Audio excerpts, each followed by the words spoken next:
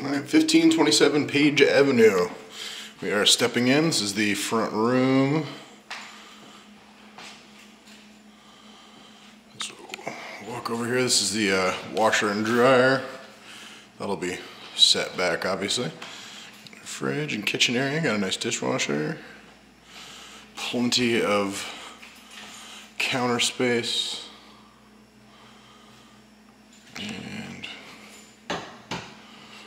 Bathroom here on the first floor. It's got a little shower in it. And turn to this back room here. Suppose this could serve as a mud room or maybe an extra little bedroom. And back through bottom floor here. We're gonna head upstairs.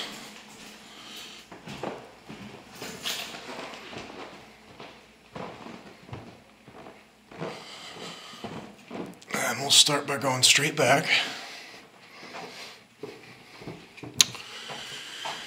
To this bedroom here.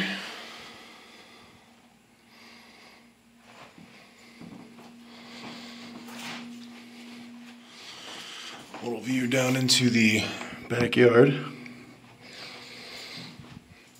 We're gonna cut back the way we came. We've got a bathroom here and another bathroom here. Both of them have showers. Would be great for a group of students. And we'll step over here into another bedroom. This one's a little bit smaller, but it's got some decent storage here and here. All right, we'll step back out of this room, back into the hallway. we've got the master bedroom. Look at that.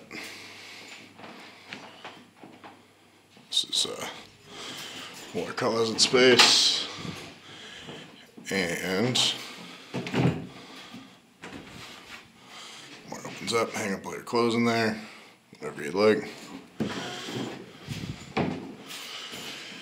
View out into the street, it's a nice neighborhood. And we'll head on back downstairs.